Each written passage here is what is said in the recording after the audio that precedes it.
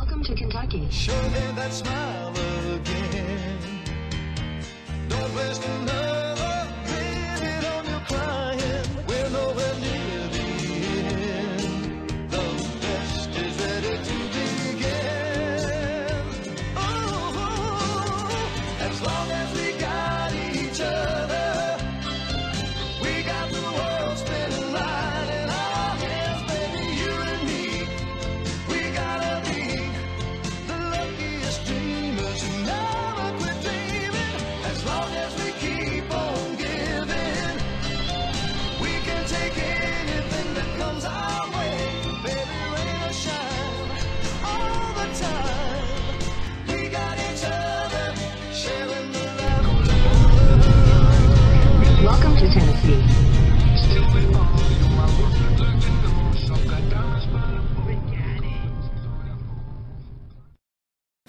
legitness. Yeah, it was.